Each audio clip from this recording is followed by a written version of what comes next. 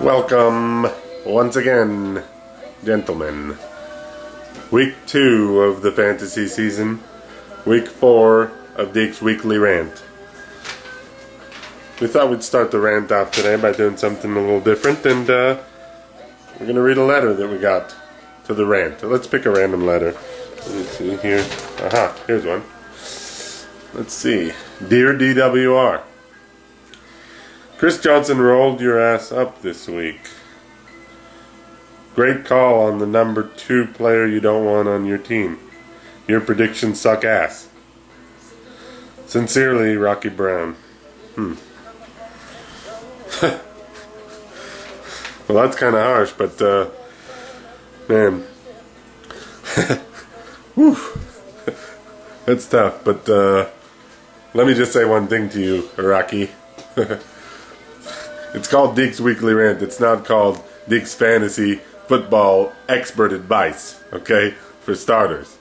but if we are talking about uh, picks, let's move on from Chris Johnson, who I have under good authority is a listener and watcher of the rant, and he knew I was playing him in both leagues this week, and he and he had it out for me.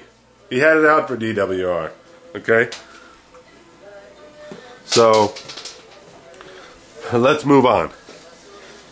If we're gonna, I know it's only week two, but if we're gonna talk about Chris Johnson, let's talk about some of Deak's other picks, shall we? uh, Drew Brees, no brainer. He's got nine touchdowns. He's well on his way to being the MVP. Uh, bust, okay. You know, Romo Romo had a, a, good day and a bad day. We can call that a wash, but I I, I have a feeling uh, Steven Jackson hasn't hasn't smelled the end zone yet. So, bust.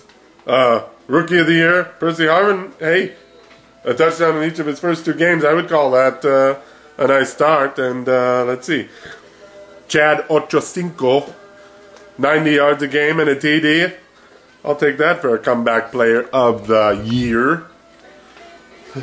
And while we're talking about Romo and Edwards, let's see Let's see what the two have done so far since we did predict Edwards to have more points than Romo this year. And let me tell you something. If it if it was a two week season,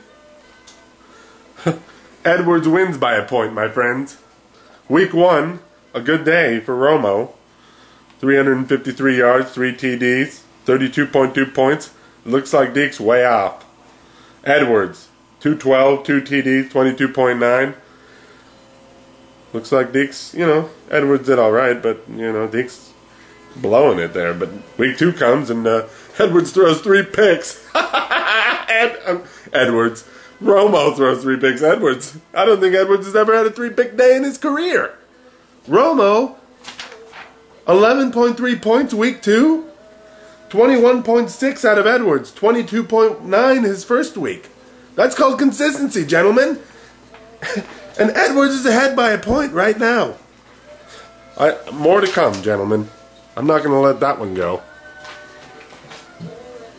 You, you, can pay me 12 and a half right now, Beak. You want to get out for half price? I'll give it to you today.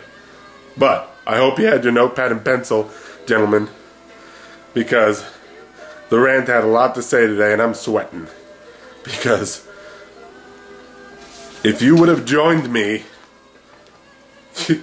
and picked Edwards in the 10th round instead of Romo in the third or fourth, you would have made out like a bandit and had an extra point to boot. So don't neglect the rant. And Chris Johnson, if you're listening, how dare you do that to me? don't worry. Chris, hey, let me just explain something. In week in week 1, when Chris Johnson had a mediocre day, I called Beak and I said, Chris Johnson looks like a freaking badass. But, you know, LenDale White's going to be stealing touchdowns. And the only reason why I included him in my list is because he made me come up with the list. He brought the idea to my attention. Next week, the list is going to be top we don't have time for a top five this week, but next week, tune in for the top five players on your team that you hate to have to cheer for. Join me, gentlemen, on the rant next week. Adios. Adios.